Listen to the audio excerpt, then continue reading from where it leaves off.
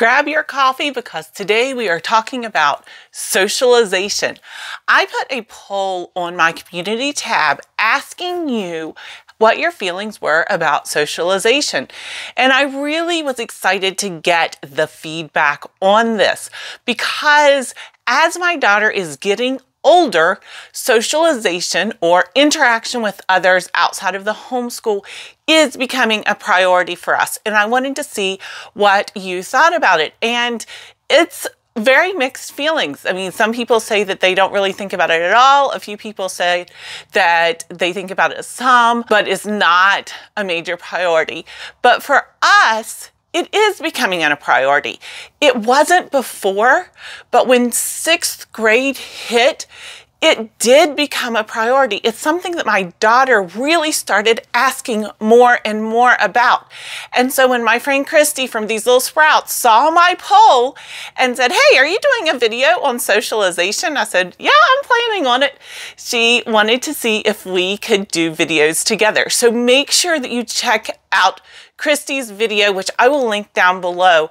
Kristie will have a different perspective than I will. Maybe some things are the same, but I have a only child, one. And so that is a different perspective, I believe, than what she will have where she has multiple children. Because one of the reasons that socialization is important to me right now in my daughter's life is for her to maintain that confidence, the confidence that she had when she was younger, I kind of saw beginning to fade as she was getting a little bit older. And I wanted to put her back in some of these social situations where she would be able to gain that confidence again. I mean, middle school, well, at least my middle school experience was pretty difficult. I didn't like it. And I didn't want her to become someone who was more comfortable in being in our home with two adults and no other children for long periods of time versus someone who knew how to get out there, knew how to put herself out there and interact with others, knew how to manage mingling at a social function where you can go from this person or this group to that group and really be able to mingle and interact with multiple groups of people. That was something that I wanted her to learn. I wanted her to maintain some of that and get back some of that confidence that she used to have so that she'd be able to hold on to it and have it help her through middle school, high school, and beyond. And so socialization really did become a priority for us. It became such a priority for us that for the past two months, we have really taken a step back in academics and put socialization and things related to that socialization, that interaction with others, as a priority for our homeschool. Because this is a skill that really is needed for life needed to be able to interact with others. They may be a little bit younger than you, they may be a little bit older than you, they may have more experience than you, or they may have less experience at things than you. But just being able to interact and have those tough conversations of being able to defend your position in a very respectful manner. So, what we have done is really open up the gates. We have opened up and we've been running so much. I will tell you, being social is really time consuming. We have had to make some concessions with other areas of our life and so that she would be able to have these experiences. I wanted her to know how to be a valuable member of a team. What does that mean? What does that look like? It can't be all about you when you are on a team. And to be quite frank, when you're an only child, it is very easy for everything to be about you. But a team tells you that it's not about you. You have to think about what is best for the team. What do you have to do to be a good team member? When you get benched, what does that mean? Why did you get benched? Be able to have faith in your coach to know why you got benched and that that was the best thing for the team at that moment. And these are all learning experiences that she really needed. I wanted her to be able to learn how to become part of a team, a valuable part of the team, and be able to contribute to that team. And in the process, make friends that she doesn't normally interact with people who would not run in our church circles or our homeschool circles, but people who she needs to learn how to interact with. How do you be able to respectfully stand up for your beliefs, respectfully have enough confidence in yourself to not be taken advantage of by others, but still handle it in a mature fashion? This is something that I really didn't anticipate as being something that she would learn through this experience, but it is something that she has. She has learned how to stand up for herself. And that just does my heart good. That impresses me that she has that much confidence and is willing to stand up for what she believes is something that I am so thankful for.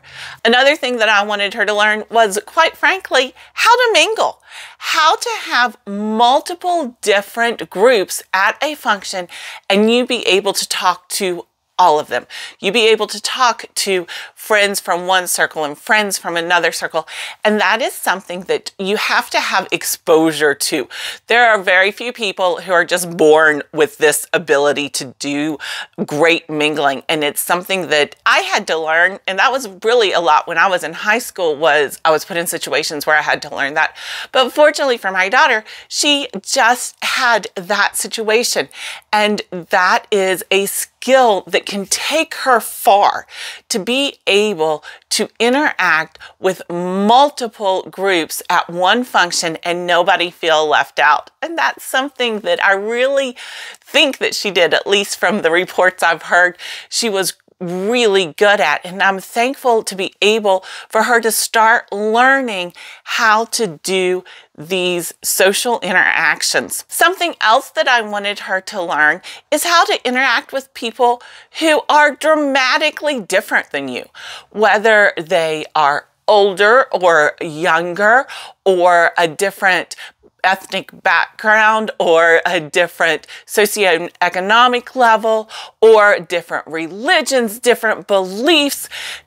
These types of things to be able to interact with those individuals and be exposed to these different cultural groups and have the ability to be comfortable in talking to all of them to be comfortable in interacting with them, to be able to know that you can learn something from every single person you meet. That is something that I think is important about socialization.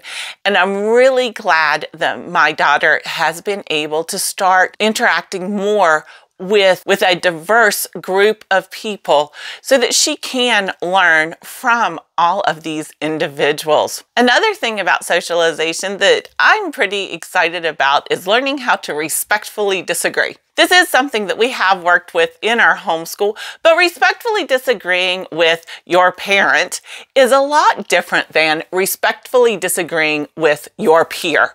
And learning how to respectfully agree and respectfully disagree is another trait that I want my daughter to have. And truly, this social interaction is a way for her to learn how to do that, to learn what does she truly believe in? To learn how to be respectful in those interactions where you 100% don't agree with the other person.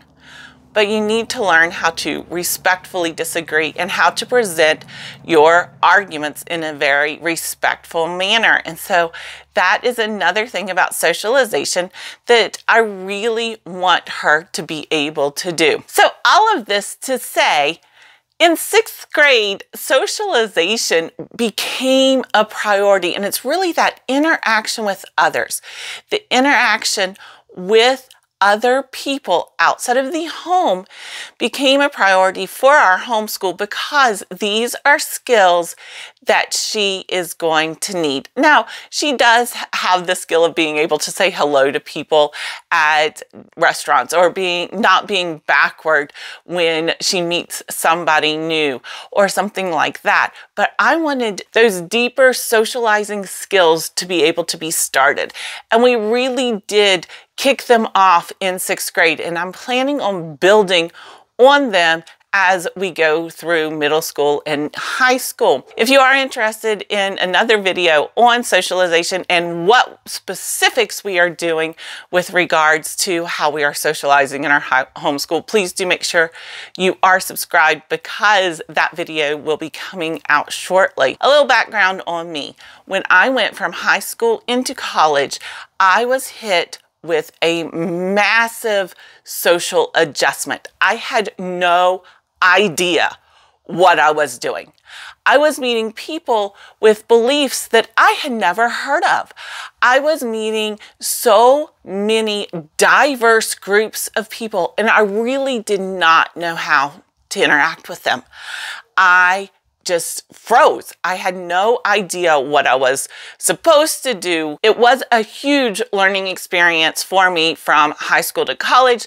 Now, as I went throughout my career, there were other experiences that I had, but that jump from high school to college was absolutely the biggest social jump I had to make in my life.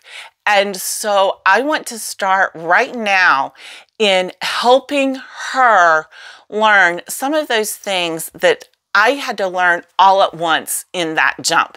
And we are now beginning to implement from some very specific steps in socializing, in learning how to be social, in learning how to have these interactions, in learning how not to take offense and not letting their opinions impact your own opinion. And it is a slow process. This is something that we are taking extremely baby steps throughout the next few years in preparation for her to succeed in life. I want to thank Kristie for reaching out to me about doing this collab together. Thank you so much, Kristie. Please make sure that you do check out her video below. I am excited to see what she has to say about socialization. I hope you have a great day. Bye-bye.